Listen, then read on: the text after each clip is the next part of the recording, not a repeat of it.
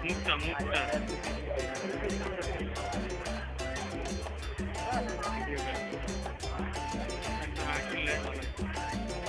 இது இது